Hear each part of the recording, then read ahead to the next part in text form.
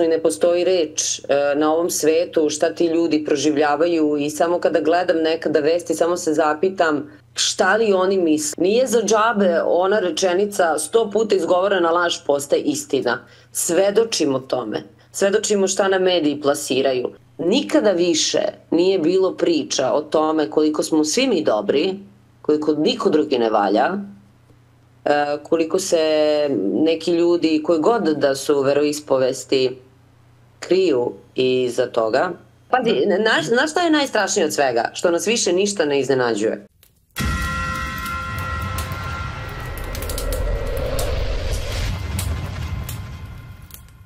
Dobro večer poštovani gledalci, velikom hvala što gledate novu emisiju na kanalu Equilibrium TV.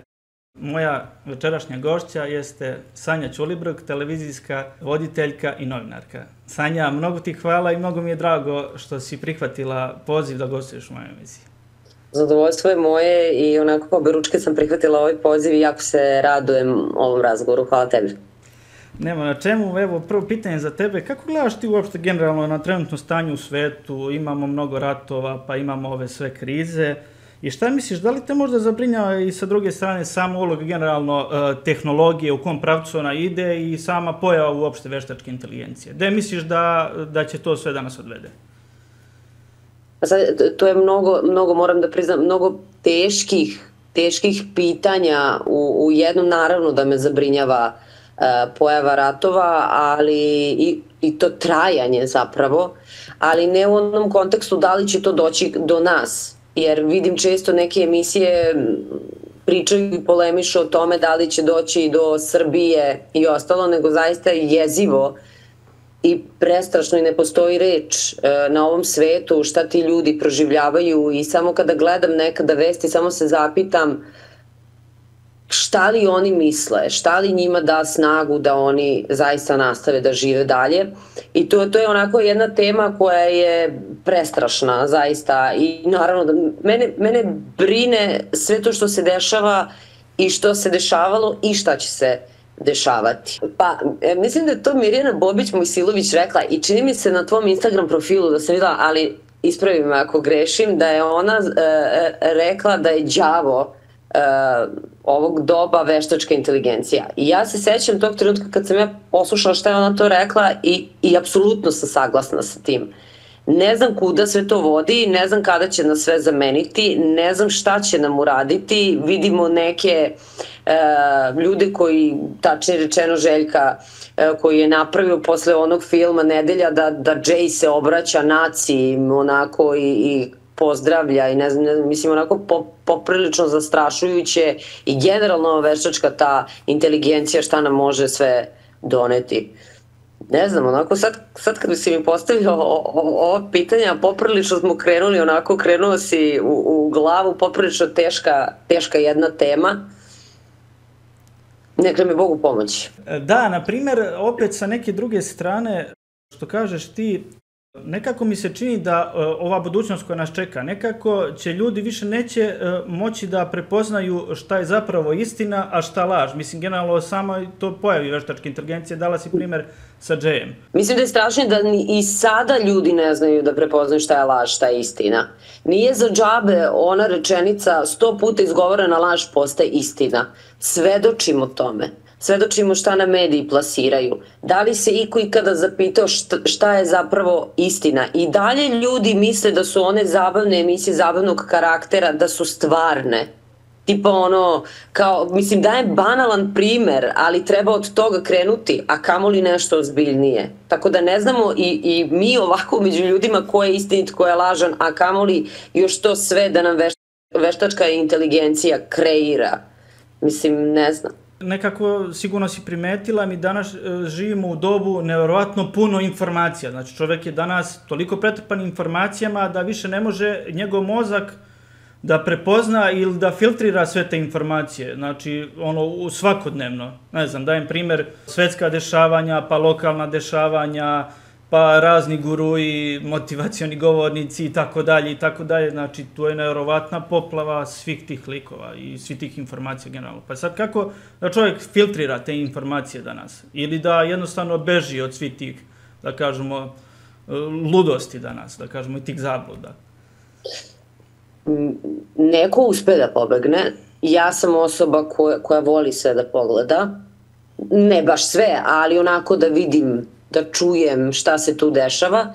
Moja sreća u, u čitavoj toj nesreći jeste što sam donekle sazrela kao osoba i to ne može da ima uticaja na mene, ali na ove klinci te kako da može. Ne može čovjek da pobegne, pobegne skroz, ja ne bežim, ja im idem u susret informacijama, mogu da ih filtriram, e, često sam se prevarila, ali opet sam došla do nekog saznanja.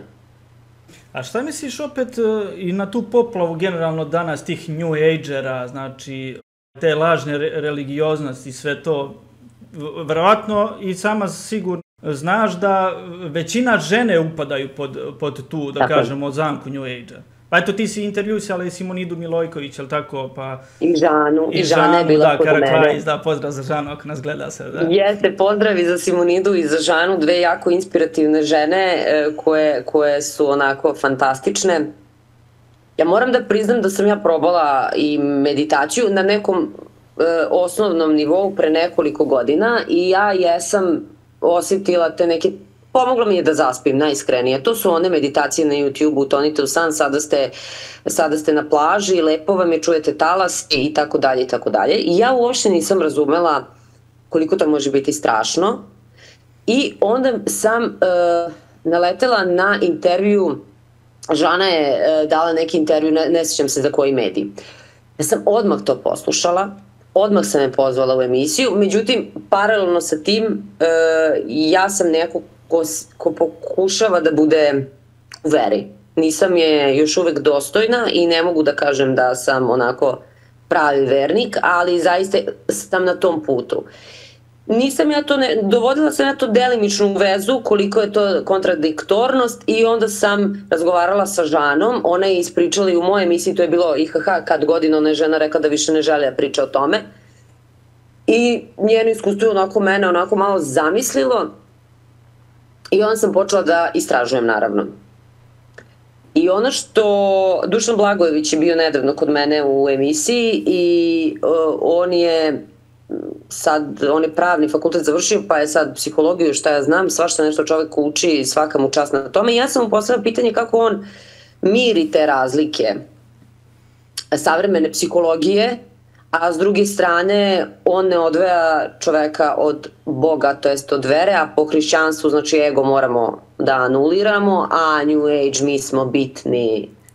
Zadovoljimo sebe, sklonite se svi, ja sam najbolji, samo ja, samo taj boost, boost, boost. I to se meni nije svidelo. Mnogo je lakše misliti da smo najbolji, da su svi u krivu, da nam svi crpe energiju, mnogo je teže razumeti čoveka da prolazi kroz jedan možda loš period života, Tako da ja sam izabrala onu pravu stranu. A da te pitam, da li si možda imala nekih problema duhovne prirode kada si ulazila u taj sam vid New Age-a? Mislim, ne mislim ko žana da si imala ali tako neko, ali zašto to pitam? Zašto mnogo ljudi se žali zapravo na sve to?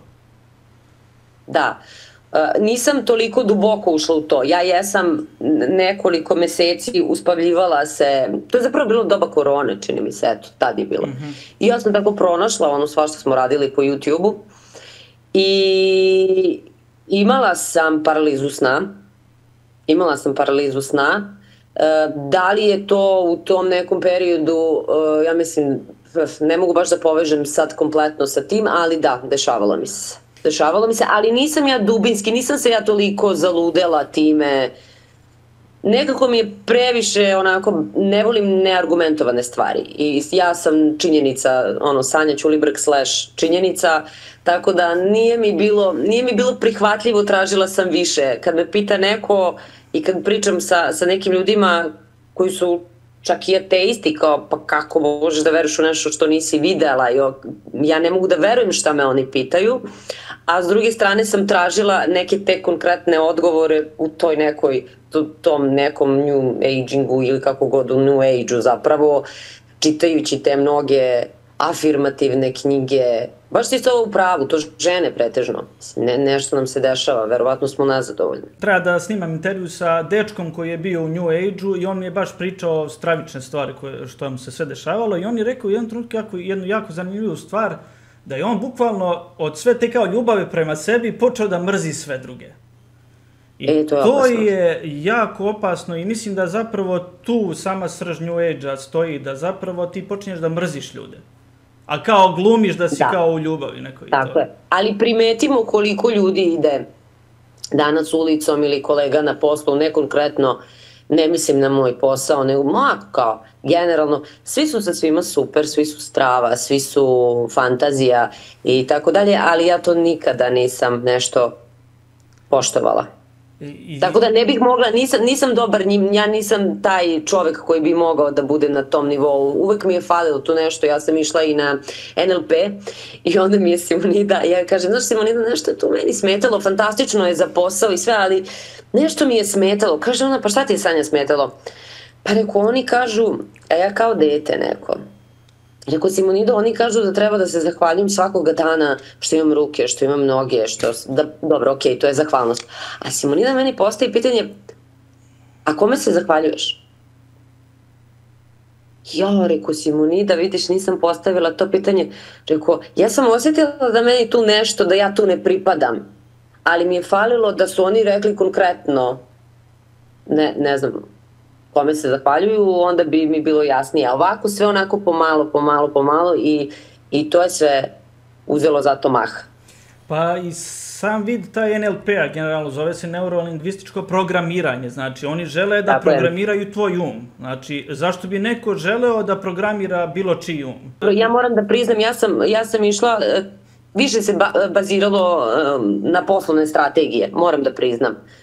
Ali, ali da, kad, kad, kad sam, nisam bila svesna zapravo da je to to, najiskrenije da kažem, nisam znala, možda i dobro, jer ima nekih korisnih stvari koje sam, koje sam naučila, što se tiče nekog uh, raporta ličnosti, za intervjue, za posao, ima stvarno fantastičnih stvari, ali mnogo je važno da kažemo da da ljudi moraju da razumeju, mogu oni da uzmu, ali od nečega što njima odgovara i što im ne šteti. A ne da zagrle to i da se grčevito drže i misle to je to i ništa drugo. E, to je opasnost. A kad je čovek svestan, ok, meni ovo odgovara, ok, usavršit ću se, imam mozak, misliću. Kad smo pričali malo pre o programiranju generalno, šta misliš o tezi nekih ljudi koji govore da živimo u jednoj vrsti matriksa? Znači, da mi svi generalno živimo neke lažne živote, i da zapravo je sve ovo jedan veliki matriks u kome treba i ljudi da se probude da bi shvatili neku istinu. Šta misliš o tome? I to mi je prijatelj pričao i ja nisam mogla verujem ovaj. pa ja mislim, ja zaista mislim da je, e, ne znam da li živimo Matrix, ne. Um, uf, E, izvini, pa ne mislim, ne mislim onaj sad klasičan Matrix. Može to da bude na Dobro. nekom individualnom nivou u smislu da današnji čovek živi na individualnom nivou pogrešno. Znači, odvojio se od Boga, ne živi po Božjim zapovestima i živi u nekom matriksu. Ne, ne svata da, da, da ide mm -hmm, u nekom stramputicom. Da. Ne mislim A mislila sam ono... kao svi da smo u matriksu. Pa da, okay, mislim okay. ima sad tu više faza, razumeš, svega toga. Neki stvarno misle da živimo u neku simulaciju, što i ja, ja ne mislim, nego jednostavno smatram ja sa neke druge strane da ljudi žive na pogrešan način, ne žive ugodno u Božjim očima, odnosno po Božjim zapovestima, da tu greše, znači idu tom stramputicom nekom. Dobro, tu smo saglasni. E, razmišljala sam šta ćemo pričati u ovoj emisiji i, i želela sam da podelim s, sa tobom i sa tvojim gledalcima neko moje današnje razmišljanje, pošto sam svesna sadržaja koji ti promovišeš i hvala ti mnogo na tome. E, nikada više nije bilo priča o tome koliko smo svi mi dobri, koliko niko drugi ne valja, koliko se neki ljudi koji god da su veroispovesti kriju iza toga. I onda sam postavila pitanje, ok, a ko je onda loš ako smo svi dobri? Ko je onda loš? Gde grešimo? Gde grešimo? Znači svaki čovek očigledno u današnjem vremenu misli za sebe da je ispravan.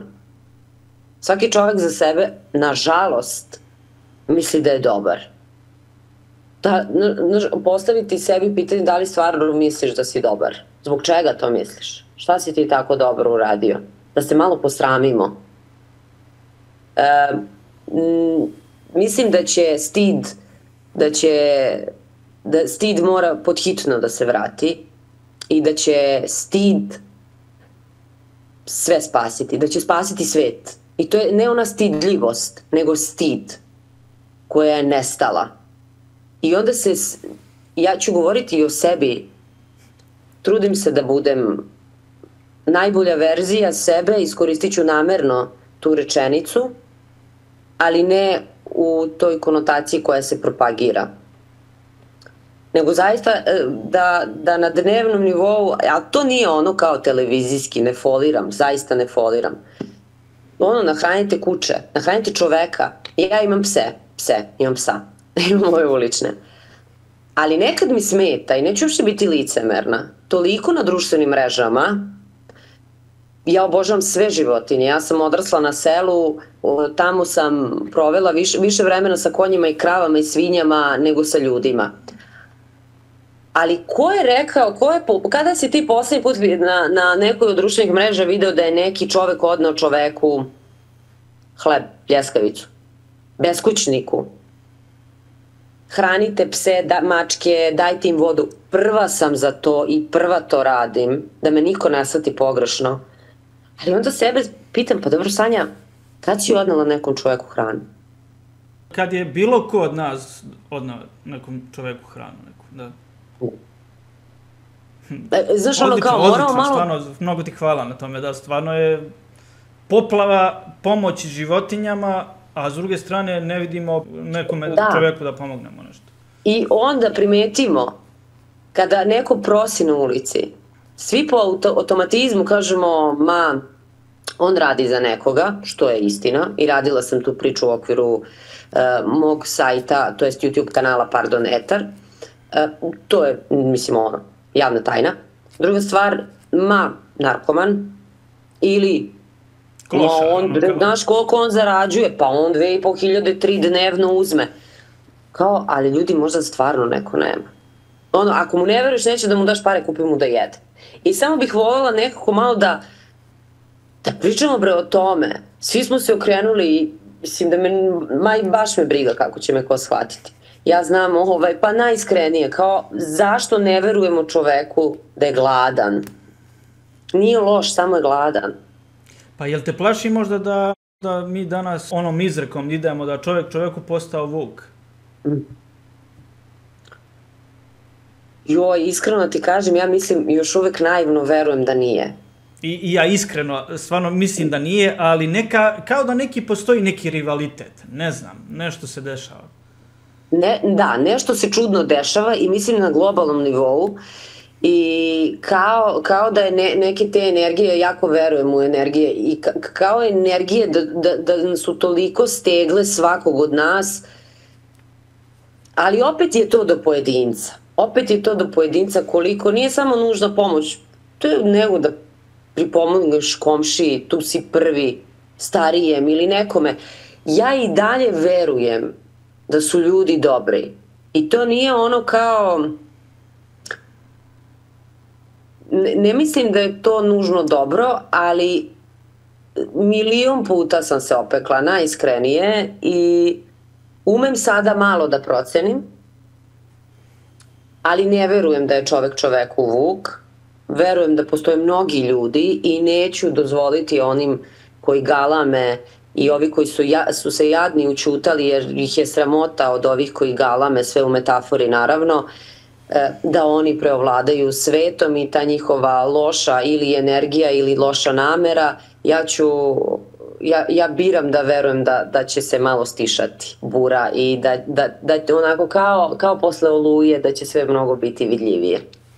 A da li te boli opet s druge strane vezano što mi svi generalno na neki način šaljemo SMS poruke za, za bolesnu decu, a opet s druge strane gde je tu država da pomogne tim ljudima, opet i sa neke treće strane koliko je zaista bolesnih ljudi sada generalno i kod nas, a i u svetu, i poplava, pogotovo kod mladih ljudi. Mm to, je, to je stvarno zastrašujuća stvar. Meni su rekli neki prijatelji iz Novog pazara da oni nikada nisu lečili decu e, putem SMS-a. Već su, ako čuju da je dete neko bolesno, um, svi se udruže i pomognu ko koliko može. Ok, govorimo o, o to je tako, kažem, ja ne znam, nisam bila, nego su mi prepričavali ljudi koji žive tamo. Naravno da je zastrašujuće, ali ako i sad ja nešto tako i razmišljam, ok, treba da se gradi, sve to lepo, ali kad vidim da se gradi tržni centar, mislim stvarno van svake pameti. Ako dozvo, dozvoljavaju tolike silne zgrade e, i ne znam šta, mislim, ok, ako ne govorimo naravno o privatnom investitoru, ali mislim da je to jedan veliki poraz države, mislim da je to ozbiljan poraz države, e, neću da se bavim politikom zato što sam e, svojevoljno izašla iz informativne redakcije, bavila sam se takvim temama godinu dana, volela sam jako, ali od tog trenutka sam se malo povukla i iskreno da ti kažem drago mi je da jesam. Ne znači da okrećem kao glavu i kao ne primećujem, naravno da primećujem, ali je to najveći poraz stvarno kao SMS i to je toliko sve više i više i više i više i više. Mislim da bi trebalo da, da se sve više bavimo temom duhovnosti. Jer se tamo čuda dešavaju. Da, da, definitivno. U tom duhovnom svetu sve je moguće, ali tako? Mm, sve. A šta misliš vezano za ove nacionalne stadione? Eto, kad si ti malo pre rekla u šta država se ulaže pare, pa to će da gradi nacionalni stadion koji, ne znam, ono, košta 100 miliona evra, dajem primjer. Pa što tih 100 miliona evra ne bi pomogli da kažem moje koji bolesnoj deci, šta će nam stadion, mislim? Pa kako će onda da zarade još para? Sve, sve materializacija čovečanstva je na visokom nivou, Ne znam samo, ja tako nešto sedim i razmišljam i zezam se sa mojim kolegama i kažem, pa, kao, pa kako moguće nisu, nisu u ovo uložili u ovo, ali kak, kak, kako onda oni da imaju, mislim, stan, kuću, bazen, kola, ono, ozbiljno dobra, mislim, kako, neće moći, kako će moći, po Bogu, neće moći onda, kako mi da imamo, ne može, ne može, pa to je sramota, pa to je jedna najveća, najveća sramota dan, mislim, ne današnjica, to je čovečanstva, si bed, beda i jad ono na, na visokom nivou. Pazi, znaš, znaš šta je najstrašnije od svega? Što nas više ništa ne iznenađuje. E, to je Što problem. ti si pred ovo rekao, ja sam proletela kroz to. Ništa nas više ne iznenađuje. Fantastično su manipulativne metode koristili da nas onako hipnotišu i ono klasična jedna lobotomija I to je to. I da nema nikakve reakcije i da nema nikakvih emocija na neku takvu priču. Znači sve ravna linija i prođeš i oto prođe dan, prođu te informacije i idemo dalje. Zato što nas se ne tiče. Ali da nas se tiče. A sve nas se tiče zapravo. Vrlo nas se sve to tiče. Ali da je e, ne daj Bože, e, moj neko, ne moje dete, nego, nego ne znam, ono kao neko koga znam da se leči SMS-om i da vidim kako se gradi stadion, i te kako bi me se ta ticalo. Da, da. I te kako bi bila ljuta i besna, jer je to klasična nepravda. Šta misliš, da li postoji pravde u ovom svetu, iskreno reci? O, ne mislim sad generalno na globalnom nivou, može i na individualnom, nebitno jako uh, pravda je uh, pravdu je moguće onako i, i osjetiti očima, ja mislim, ali je neuhvatljiva često. Ja sam imala veliki problem sa tim ja i dan danas imam, zato što ne trpim nepravdu pokušavam da učim malo to iskreno, ali baš mi ne ide. Ja sam ono klasična Che Guevara, ako, ako, kako je rekao, ako besniš na nepravdu, ti si moj čovek.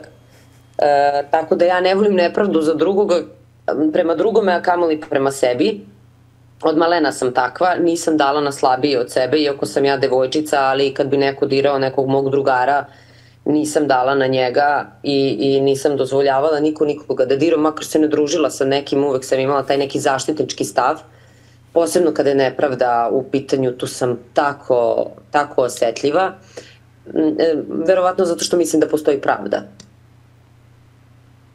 Da, ali, ali za, za, zašto te pitam? Zato što u ovom, ako u ovom svetu vladaju, da kažemo, zli parametri, ono, Biblija nam kaže da, da je knez ovog sveta sam đavo, onda ako živimo u takvom svetu, nemoguće da postoji pravda u tom nekom kontekstu, a opet s druge strane postoji ona ultimativna, ona božanska pravda koja će doći i koja će srediti, da kažemo, ovu zemlju i sad. U nju apsolutno verujem, to, to bez daljeg, ali isto tako e, mogu zli da vladaju koliko hoće, dobro je mnogo jače od tog zla svog, u bilo kom obliku, ne može, ne može zlo da navlada dobro, nema šanse, nema šanse.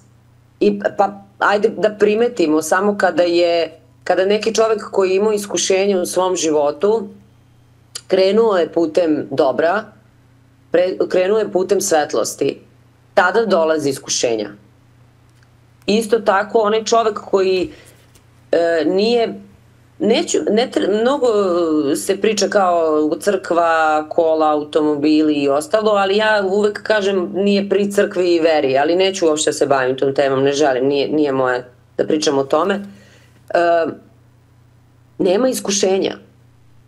On i džavolu nije, jel tako, interesantan, Tako da ne može, e, zlo je ovde, ok, visoka, ali dobro je ovde, mislim, ne, nema šanse.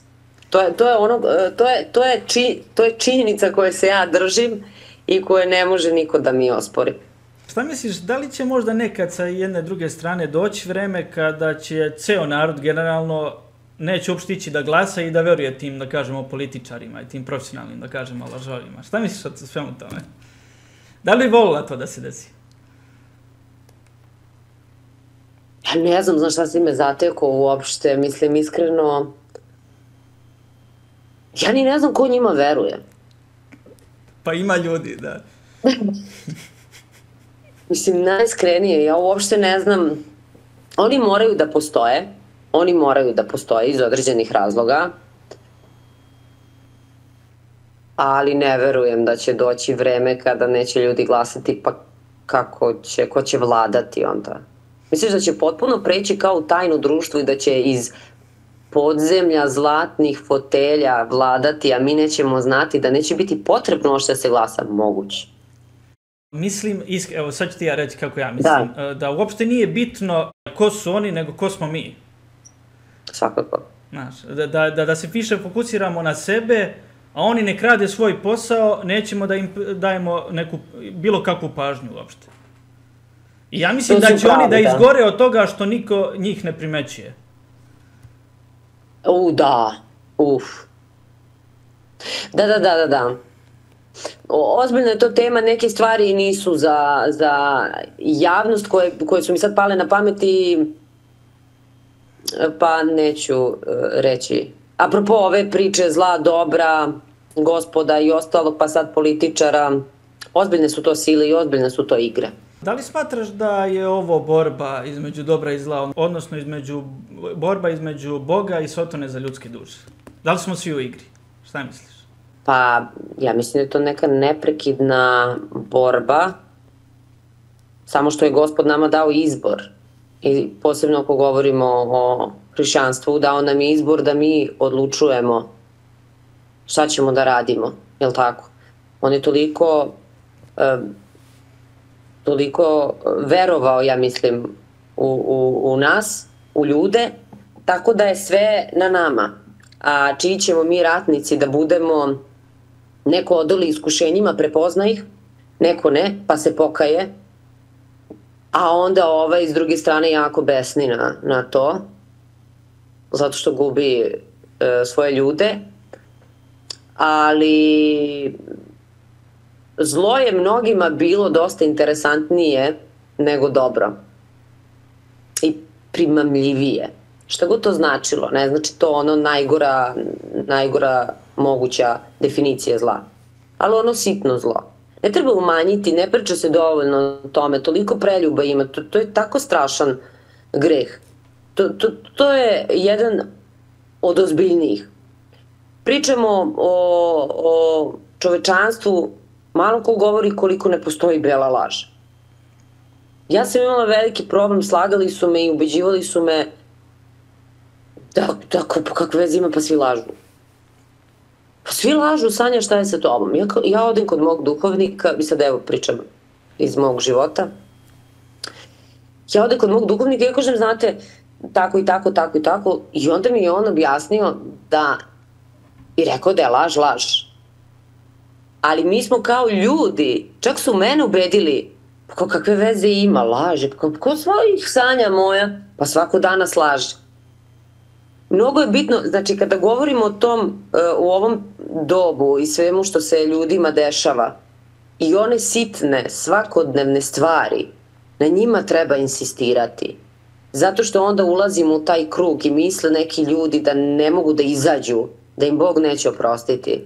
A gospod bi oprostio i, i samom đavolu, ali on neće da se pokaje. Koliko su ljudi danas generalno jedni drugima spremni da oproste? Kako bih ti rekla, ako govorimo o prijateljstvu, uh, ja ja stvarno nisam imala, imam prijatelje od 20 kusur godina, imala sam tu nekih ljudi koji su bili prisutni i ne, pa nije bilo šta da zaista da se prašta. Ako govorimo o e, ljubavnom odnosu, e, to je već jedna posebna priča ako ti nećeš ima ko hoće. To sad, sad je ono postalo kao i na poslu. Ako si nezadovoljan platom, ako ti nećeš, ima ko hoće. E, tako da nema razumevanja. E, oprost je e, visoka kategorija za ono zbog čega su ljudi nesrećni. E, mislim da neće da razumeju ni nečiju ljubav i pažnju. Neće da razumeju ljubav, a kako bi neko razumeo ono što nije ljubav. Zanimljiv, Znaš, da. jer dolazimo u situaciju kad neko kaže ma neću da se vežem.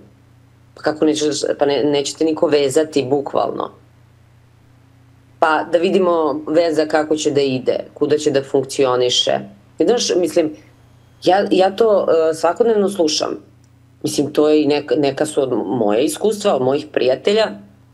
I onda, znaš, ljudi se plaše neke ljubavi i intenzivne ljubavi, šta god to značilo, a kamuli da kao ne mogu to da razumeju da neko ume da voli, a kako li će tek razumeti da, da treba da oproste, mislim, čoveče. Da, da, izuzetno, izuzetno komplikovano, da, da, generalno, kad uđeš u sam, sam srži te sitnice i sve to, a malo pre si rekla da je ljudima greh primamljiv. E sad, na primer, crkve e, su kao institucije đavola prikazale kao neko odvratno stvorenje sa rogovima, a on zapravo je sve suprotno od toga, da, kad smo rekli malo pre da je greh primamljiv, on je zapravo onako kao, liči kao nekog džentlmena, kao nekog e, šarmantnog tipa, zavodljivog, znači, e, đavo se nama e, predstavlja na totalno drugačije načine, a nama je greh zavodljiv, pa koliko će đavo da prevari ljudi na takav način? Pa kako ne, mnoge i prevario. Najbolja, najbolja, najbolja, po znacima navoda, stvar koju đavo uradio jeste što nas je, što je ljude ubedio da ne postoji. Tako da, um, pa pogledajmo sada šta se dešava, ne znam koliko si ti upoznat, imam bratanice koji imaju 17-18 godina, sa kojima sam jako bliska. Pričaju mi šta rade njihove, njihove generacije, ne, ne mislim nužno njihovo društvo. Droga je na sve moguće, droga je non stop, to je dostupno. To je normalizovano. Seks u osnovnoj školi u osmom razredu. O cigaretama, pafovima da ne govorimo. I to je normalno. I onda umeju da kaže, ali tetka to je ne za ne da to naravno, nego to je danas normalno. Ja kažem, nemojte normalizovati nenormalne stvari. Znači, nemojte da vas ubeđuju da je to normalno. Nije normalno. To je katastrofa. Šta misliš, da li je to do ljudi, generalno tih roditelja, ili je to do sistema, generalno i interneta, uopšte same pojave internet? Ja sam pre e, nekih deseta godina išla u zemlju živih, radila sam intervjue sa u tom trenutku heroinskim zavisnicima. I ženski muška kuća je, sa svima njima sam imala intervjue, serijal se zvao Svedočenja. I apropo sad droge, pošto vidim da je mnogima to tema, roditeljima. E, ja sam bila, um, nisam ja rođena u nekom staklenom i rasla u staklenom zvonu, mislim, kretala sam se, jel tako? E, I Dunja jedna iz Novog Sada, prekrasna devojka koja je bila na, na heroinu, e, kokain je uzimala introvenski, što je naravno jako opasno zato što može da umre od toga odmah, ali ona je baš zbog toga to htela. I ona je rekla rečenicu društvo da utiče, utiče, ali ona je htela sve da proba. Nisam roditelj još uvek, Sigurna sam da je to skup svega i svačega. Roditeljima uopšte nije lako. Rade do, ne znam sad, te smene 5-6 neka dođe kući. Dete je, ako ide u školu, u kom periodu je samo kod kuće. E, babe i dede nisu u penzijama da, da čuvaju kao što su možda nas. Pušteni su na ulicu, vrbuju, zlo vrbuje sa svih strana. Mislim, e, plašim se za, za našu decu plašim se. E, Instagram je doprineo tome da one žele da izgledaju kao kao, kao neke... Kim Kardashian, tako neke, da. Kao Kim Kardashian, da. Rađena i ranije anketa, ranije godine, one su najviše želele da izgledaju kao pevačice. Mislim da sada je više kao reality učesnice preko medija i tog sistema vrednosti oni uče bukvalno svakog pojedinca da može da postane filmska zvezda, ne znam, rock zvezda, glumica, pevačica, ali 99,9% neće to uspeti. Isto kao da. i profesionalni futbaler i profesionalni košarkaš i tako dalje i tako dalje. Ali neke vrednosti su se potpuno poremetile, posebno ako govorimo o mom poslu, da zaista, zaista je tu velika tranzicija vidljiva je, vidljiva je i ljudi koji nisu u tom poslu mogu da, da shvate. Ako govorimo o televiziji i o televizijama u Srbiji, ok, znalo se ko može da radi informativne redakcije, u redakciji informativno i da bude prezenter ili voditelj, međutim opet u zabavnoj se isto tako znalo, sada se više ništa ne zna. Sada se više ništa ne zna i um, srećna sam što me to ne ljuti. E, srećna sam da sam došla do tog nivoa da me, to me ne remeti i Bogu sam zahvalna na tome jer sam imala naravno razne faze u tokom svog posla i te nepravde i kada nisi niči onda, onda malo teže prolaziš u životu, ali neka, neka, sve to, sve to okej, okay, ali eto, e, apropo dece, vidjet ćemo u šta ćemo se pretvoriti. Kad si pomenula malo pre, da kažemo, roditelji da rade, ne znam, od 8 do 5, dok dođu kući 6, 7, da li je to isto neki cilj agende, da ljudi, zapravo roditelji, bukvalno nemaju nikak, uopšte vremena za svoju decu, pretrpani su mm. poslovima, opterećeni poslom, stres na poslu i ostalo i onda bukvalno nemaju uopšte energije da se posvete toj deci. Pa kako ne? Kako ne? Ja mislim, ja počinjem ozbiljno, ali nisam nešto bila baš u teorijama nekakvih zavera i, i sve to, ali duboko počinjem da verujem da je sve to strateški urađeno. Kao što, kao što je i muzika, rock muzika posebno je sklonjena, da bi ljudi prestali da misle koliko god, koliko god ljudi muzika ima afirmativnu notu i mislim to bez daljeg ali apsolutno, pa kako čovek koji dolazi, mislim ja pogledam sebe, kad sam na poslu, evo, kad bih sve stigla, svaka čast tim ženama i tim očevima i samo neka ostaju zajedno da nemamo tu statistiku razvoda i prevara i čega god. Jer jako, jako je teško to sve održati i izgledati fantastično, to se jako, to je imperativ sad, kako ti misliš da ćeš ti da budeš debel ili debela, pa nema šanse, posebno na žene. Kako misliš da budeš stara ili stara? Ne možeš to a nekada se takmičilo ko će biti pametniji, pa je bilo sramota koju knjigu nisi pročitao ili pogledao neki film ili znao neku informaciju. Izukrenulo se. Nije lako, ali bit će dobro. A, apsolutno se slažem, naravno, na kraju dobro pobeđuje, to, to znamo sigurno, pa e, da to ne znam, zabrinuo bih se za ovaj svet, ali pošto ovo znam, onda nemam brige oko toga, samo govorimo o nekim fenomenima koji se trenutno dešavaju danas Tako i koji je. su, da kažemo, kritični i da, da možemo da kažemo nešto da bi unapredili društvo, je li tako? Tako je, pa to, to je velika stvar svaki pojedinac da radi u okviru bilo čega, čime tako da se bavi ili nešto, to je ono što smo pričali na početku, mali doprinos je velika stvar. Ali vidiš i e, sama sa neke druge strane, sve se forsira na toj nekoj spoljašnjosti, na nekom fizičkom izgledu. Mediji ne forsiraju tu priču o, da kažemo, toj nekoj duhovnosti, ako i postoji duhovnost, postoji ova lažna duhovnost koju smo pričali, znači New Age religija i tako to. Niko ne pominje Isusa Hrista, niko ne pominje spasenje i ostalo. Da. Hrišćanstvo generalno. Da, da, da, da, baš, baš redko baš, baš redko. Mislim, ljudi se šokiraju kada, kada ja zovem da te teme pričam u, u svojoj emisiji. O, na Grand. Kažem da. Ja pričam o tome i ja sam koliko god bude mogla, ja ću to raditi. Ja ću to raditi koliko god i za sada nisam imala nikakve negativne reakcije ni, ni ljudi, ni mojih poslodavaca, ali generalno u medijima nije, nije popularno. Kako, nije skandalozno. Nije kliktabilno. Mada moramo da priznamo da postoje, ja sam primetila neki portali su pisali, e, na primjer, kada do, do, ide neki veliki praznik ili ne, neki crveno slovo, onda kažu ovo, ali opet moraju malo da zagolicuju, ali opet nema veze i to je doprinos, da ne zaboravimo. Ovo obavezno radite, ne znam, na Bogojavensku noć, pa onda ili neke molitve za zdravlje, čak je Telegraf objavljivao molitve protiv loših sila ili tako nešto za zdravlje. Ima, ima, ajde pohvalit ćemo. Koliko si ti generalno u životu upoznala lažnih, lažnih hrišćana? Mislim, to je tih nekih lažnih moralista. I šta misliš o svemu tome? Da li ih ima? Ne, ne, neću, neću sebi dati za pravo da komentarišem ko je lažni hrišćanin. Uh, ali ko, lažne ljude upoznala sam. Nisam znala da to toliko može da uzme maha.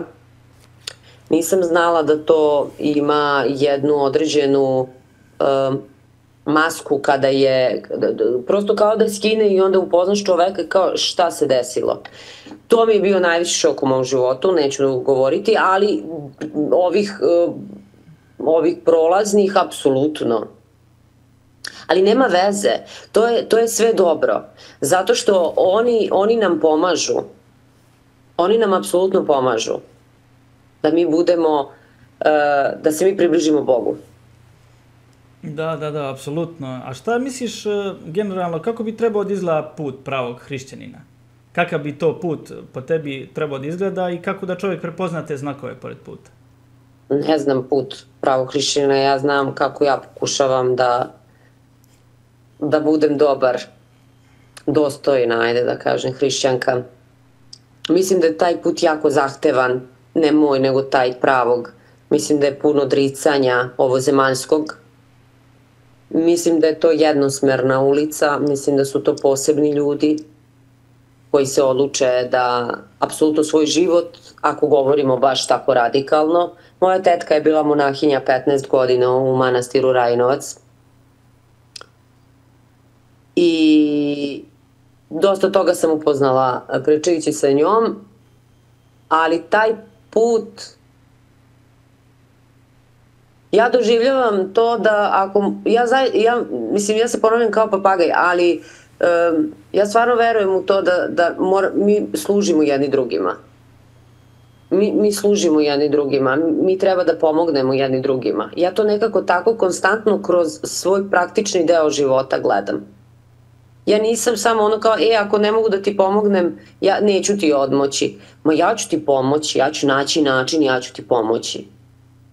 Eto, to nekako radim kroz život, ne da bih bila dobra hrišćanka, mislim da mi je to ne, neš, nešto i genetike, vaspitanja, koju, za koje su zasluženi naravno moji roditelji, ali i da se gospod i naši roditelji, oni ne zastide nas.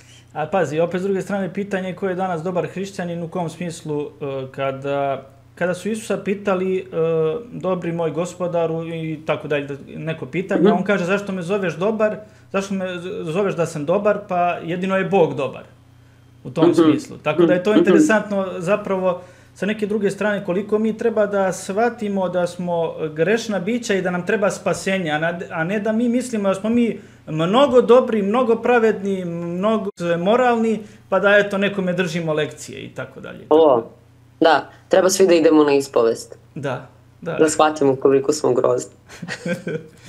puni smo strahova, puni smo strahova od prihvatanja. Da li će nas prihvatiti, da li neće, ko kakav automobil vozi, znaš, um, prestiž je i ta, konkret, ta materializacija o kojoj stalno pričamo svi mi i tako dalje. Um, muškarcima ja, jako, jako teško danas i ja sam ovaj, više na njihovoj strani, to jest na vašoj, zato što uh, koleginica mi je rekla jednu divnu rečenicu, pa tako koristim, jedino mi je drago što sam žena, što nema posla sa ženom. da se malo našalim. Da, da ne bude, ali, da, da si protiv žena. Da ne bude da. sve ozbiljno, molim te. Ovaj, ali e, e, nezgodno je. Nezgodno Zbog čega misliš da su muškarci danas u opasnosti?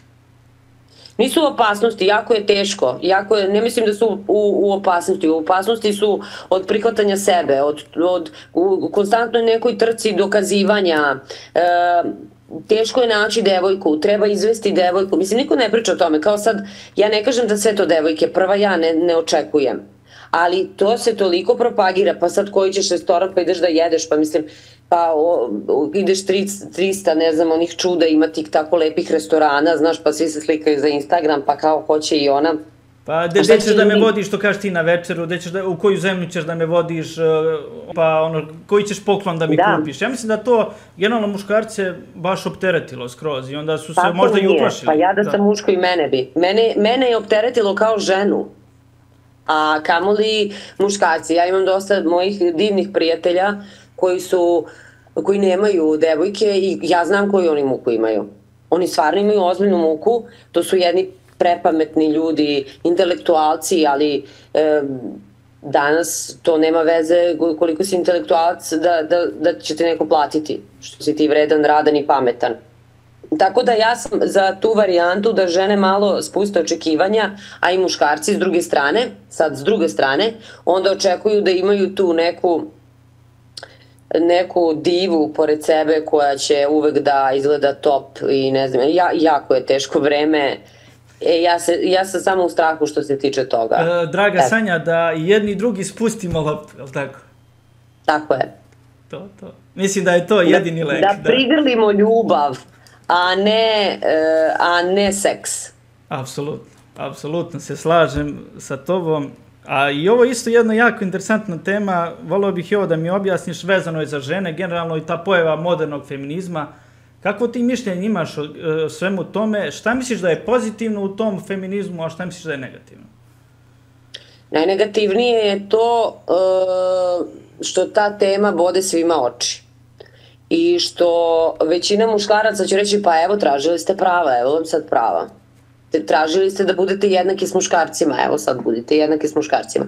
Niko ni jednog trenutka nije, mislim, ja ne bih u životu volala da budem jednaka s muškarcima. Najlepša stvar i najdivnija je kad žena može da se oseti kao žena pored muškarca. E sad, opet to je bolna tema. Uh, uh, taj, to je otišlo predaleko sa tim feminizmom. To je otišlo predaleko. Mislim da se, da se opet uh, žene i muškarci nisu razumeli.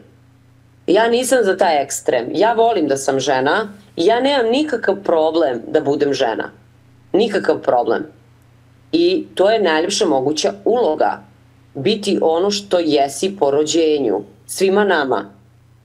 E sad, ako muškarac oseti se manji muškarac pored neke žene, to ne mora da znači da ona želi da njega zameni Možda je samo njena energija malo jača, ali opet Mislim da, da su sve pogrešno, da, da, da sve to, da od temelja je to loše postavljeno, mislim da previše žene pričaju o toj temi, mislim da su se mnogo istripovale, da ti kažem. I sad, e, osim toga, napomenuću moju veoma dragu seriju, Seksi grad, koju volim, ali to je, to je isto uzelo maha Da su žene stvarno zamislile da su Samantha, Carrie Bradshaw, Miranda i Charlotte.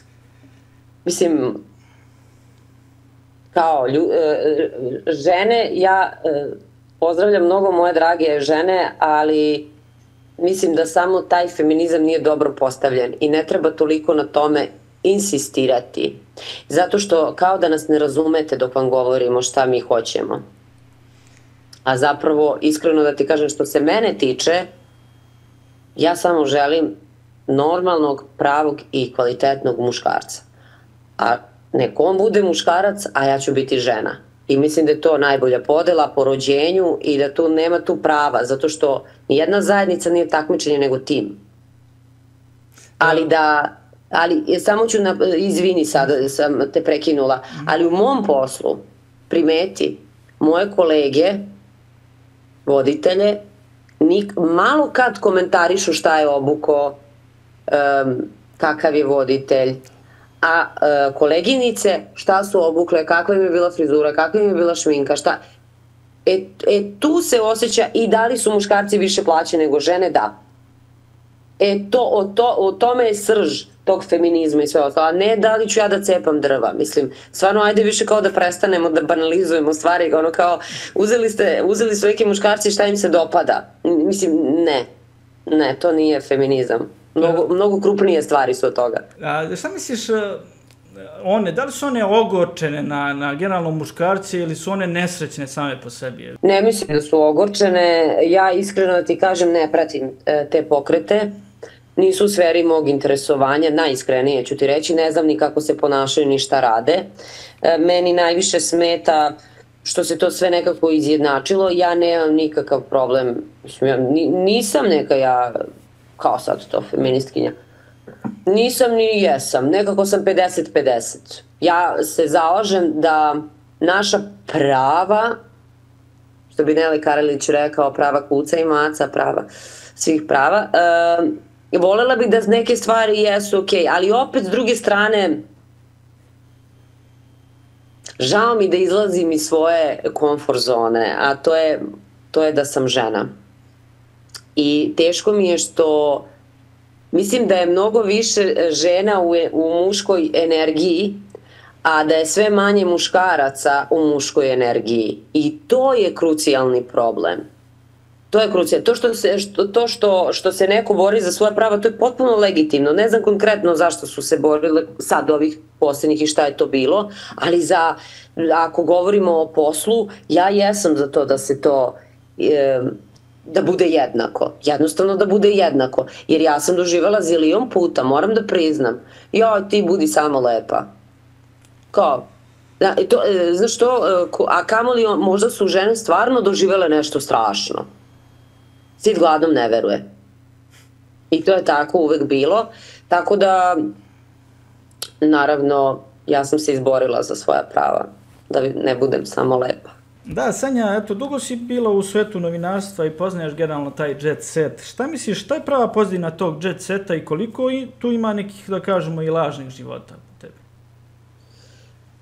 Pa da, da, ne znam sad kao da li, ne mogu ja da znam da li ne, neko vodi laž, u, zapravo mogu, dvostruke živote. Dvostruke e, živote, mislim da se e, uopšte ne govori o tome. su da li postoji taj neki lažni sjaj. E, da, postoji. Postoji zato što zato što televizija i scena mnogo se scena se jako lepo slika svuda i nisu to ljudi možda ti krivi koji su na toj sceni koliko oni koji gledaju pa misle da zaista da zaista oni žive neki glam. Da oni stvarno pršte od, od luksuza i svega ostalog, neki i zaista uživaju taj luksuz, ali ono što ja nisam znala, dok nisam počela taj, taj, u to, to, u, na toj televiziji da radim, jeste da su stvarno to ljudi koji se trude. I skloni smo predrasudama. I ja sam bila sklona predrasudama i nisam imala pojma koliko grešim. Ali onda sam upoznala neke od tih ne neke, nego sve, u većinu pevača i shvatila sam koliko su oni divni ljudi, koliko oni sanjaju i maštaju. Ja ne mogu da znam kako oni dolaze do nekih rešenja svojih, ali one sa koje vrlo poštujem znam da su da su čestito došli i zaradili i trudili se i to uopšte nije lako. E sad, sigurno da postoji i oni koji jednostavnije prođu i to mislim, to je jasno kao dan, ali hoću da kažem ljudima, e, nemojte imati predrasude. Nemojte imati predrasude jer kao što i ne znam, e, jedan student medicine je maštao da bude doktor, pa što, što je to toliko strašno da neko mašta da bude pevač ili pevačica, mislim, ako nikoga ne ugrožava. Treba, treba voditi računa naravno šta oni snimaju i, i, i šta, e, kakvu poruku šalju tim pesmama, to se slažem, ali ako govorimo o ovim nekim ljudima sa kojima se ja susrećem, oni stvarno nikoga ne vređaju, ne pozivaju na bludi nemoral, u tolikoj meri e, ne pozivaju ne pozivaju kao ovi treperi i sve to mislim na belo i na ovo i na ono. Mislim to stvarno treba voditi računa. To su sve afirmacije. To je nešto što svakog dana slušamo i onda se to tako normalizuje. Znaš kako mene kad sretne komšinica znaš jedna baka i svaki put kad me sretne već 10 godina mi postavi pitanje a šta radi Saša Ja kažem koji Saša? Pa Popović. I ja sam ispora pokušala njoj da objasnim da ja stvarno ne znam šta radi Saša Popović, da ja njega gotovo ni ne viđam i da se mi ne družimo. Ali ljudi to misle tako onda i, i zamisli tek šta onda misle da ja sve to da slušam. A to nije istina. Posle pet godina sam ju rekla ništa radi Saša.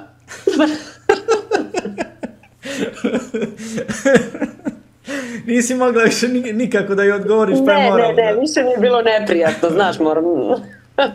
da, oni, mnogi ljudi misle kad tebe gledaju putem TV ekrana da oni misle sad ono, eto, vidi, Sanja je tu sa Ortak, sa Sašom, sa ne znam, ja, sam da, tim da, ljudima da, koji vode nedimo. Grand, piju kafu, ne znam, druže se svaki da. dan i to.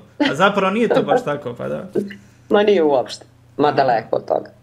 A eto, na primjer, i, i ti muzički tekstovi danas, generalno, mislim, e, sama muzika je generalno, bi trebala da se fokusira na sam tekst, generalno pesme. Ti kad uzmeš da, da. taj tekst da recituješ, to stvarno izgleda nakaradno. Mislim, kako pa današnja muzika, da, nema nikakvog smisla. Pa, ko, gde je otišla ta muzika, u kom smeru, da?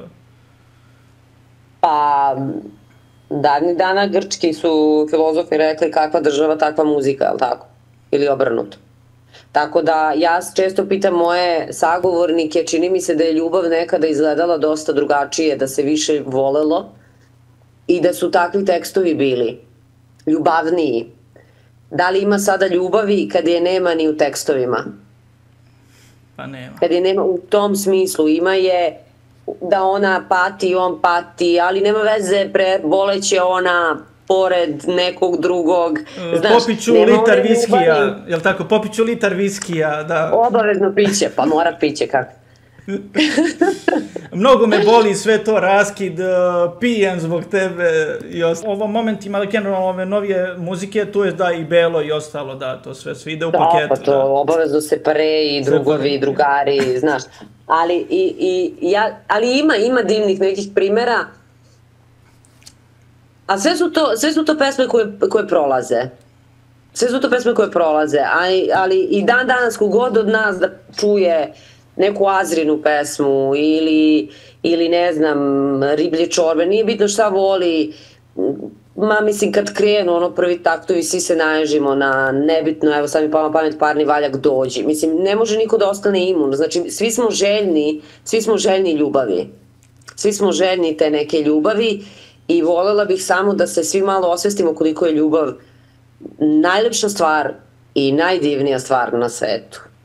I da je muzika malo da je, da je vrati. Apsolutno se slažem. Sanja, evo kad si pomenula ljubav, šta je po tebi zapravo prava ljubav? I eto, gledao sam na hebrejskom šta znači reč ljubav, na jeziku Svetog pisma, kaže briga onome što ti je povereno na dar. A šta misliš o toj definiciji mm. je, ako, eto, da, da uporediš tu definiciju sa tvojom nekom definicijom ljubavi, da? E, naravno, godinama unazad sam, pošto ja, ja volim ljubav. Ja volim ljubav, ja volim da volim. Ja volim da, ok, i mene volim, ali ja volim da volim. I onda sam dugo razmišljala o tome šta je ljubav i u moru svega ovoga sad ovih silnih sloboda. E, mislim da ljudi uopšte nisu razumeli neke rečenice na pravi način. E, ono kao kakve su ti misli, takav ti je život. Mislim da je to jedna od rečenica koja je apsolutno pogrešno e, protumačena kao ona je toliko izgubila, nije smisao, ne može izgubiti, ali isto tako kao ljubav, o ljubavi se priča kao da budemo mi slobodni, ja ću znaš da radim šta ja hoću, ti mene moraš da podržavaš, ti mene ako ne podržiš, ti mi ne možemo da budemo ljubavi i tako dalje, tako dalje. Meni se, meni se takva ljubav ne dopada. I meni se najviše dopada definici, definicija. Ono što ja govorim, da je ljubav, ljubav je žrtva. E, možda to nekome zvuči onako mm, jako teško, ali ja zaista mislim da ljubav jeste žrtva. Da li vi žrtvujete ne, ne nužno sebe, sad ćete vi da žrtvujete svoj život zarad nekoga, ali ljubav je žrtva. Na kraju krajeva i Isus Hrist se žrtvovao zarad nas i zbog te ljubavi. Pa da, da Isus Hrist nije to uradio, on nikad ne bi rekao tu rečenicu, oprosti im Bože, ne znaju šta rade. Znači, upravo žrtvo se zbog, zbog nas, zbog, zbog te ljubavi i zato je rečena ta rečenica, oprosti im Bože, ne znaju šta rade. Jel zato što ih voli?